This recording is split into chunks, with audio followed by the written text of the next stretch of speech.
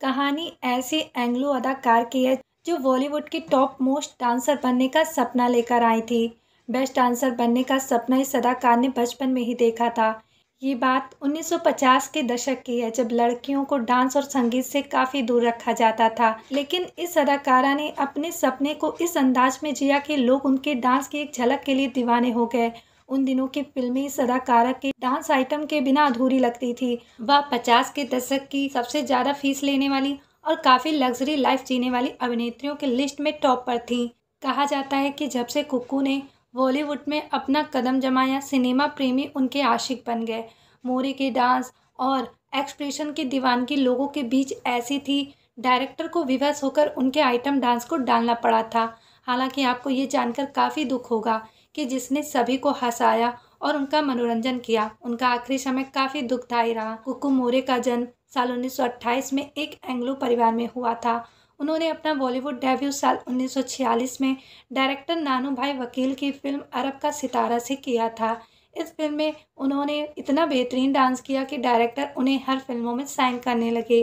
उनकी dancing talent और कमाल का कैबरे स्टाइल देख लोग उन्हें रबर गर कहकर बुलाने लगे। आपको ये जानकर हैरानी होगी, चालीस और पचास के दशक में एक गाने के लिए छः हज़ार रुपये लिया करती थी, जो उस समय काफ़ी ज़्यादा हुआ करते थे। लग्जरी लाइफ स्टाइल के लिए थी फ़ेमस। कुकू अपनी प्रोफेशनल लाइफ के साथ ही साथ अपनी पर्सनल लाइफ को लेकर विदेशों में काफ़ी फ़ेमस थी। वह अपनी लग्जरी लाइफ स्टाइल के लिए जानी जाती थी। कहा जाता है कि उनके पास बेशुमार दौलत थी। आलम यह था कि उनके पालतू कुत्ते भी दूसरी गाड़ी में घूमा करते थे। उनके पास तीन लग्जरी गाड़ियाँ थीं। मुंबई में एक बेहद बड़ा बंगला हुआ करता था।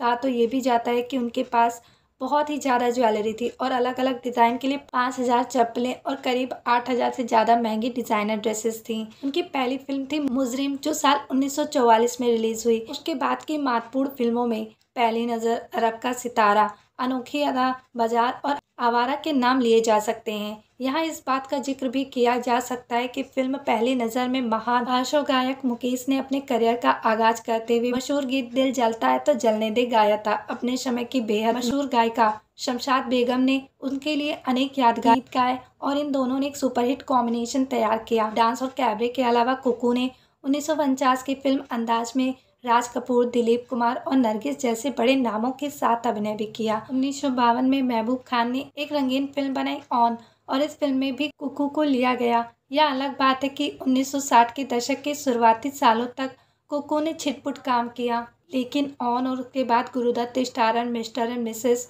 बचपन के बाद धीरे धीरे उन्होंने फ़िल्मों को अलविदा कह दिया, क्योंकि उनकी जगह लेने को नई अभिनेत्रियों की खेप तैयार खड़ी थी। माना जाता है कि उन्नीस सौ बासठ की फ़िल्म गर्ल्स हॉस्टल उनकी आखिरी बड़ी फ़िल्म थी। उसके बाद उनको कोरस में काम करने के इक्का दुक्का मौके और मिले।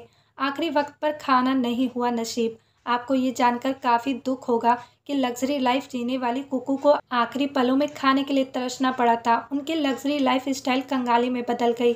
ये तब हुआ जब आयकर विभाग ने आय से अधिक संपत्ति रखने और कानून का उल्लंघन करने की वजह से उनकी सारी संपत्ति जब्त कर ली। देखते ही देखते कुकू का स्टार्डम खत्म हो गया और वह अर्श से फर्श पर आ गई। उनकी सारी दौलत और शोहरत छीन ली गई। मशहूर अभिनेत्री तबस्सुम ने एक बार एक इंटरव्यू में कहा कि महँगी गाड़ी से चलने वाली और बड़े बड़े फाइव स्टार होटलों में खाना मंगाने वाली कुकू की लाइफ में एक ऐसा दिन आया कि वो सब्ज़ी मार्केट में जाकर फेंकी गई सब्जियों और अन्य खाने वाली चीज़ों को बटोरने लगी और उन्हें घर लाकर पका कर खाती थी। जिस दिन उनका निधन हुआ, उस दिन उन्होंने खाना तक नहीं खाया था। और जब वो मर गई तो कफन को पैसे भी नहीं थे। दुख की बात यह भी है कि आखिरी दिनों में कुकू काफ़ी बीमार हो गई थी। उन्हें कैंसर हो गया था। बता दें, तीस सितंबर उन्नीस सौ इक्यासी में कुक्कू ने इस दुनिया को अलविदा कह दिया।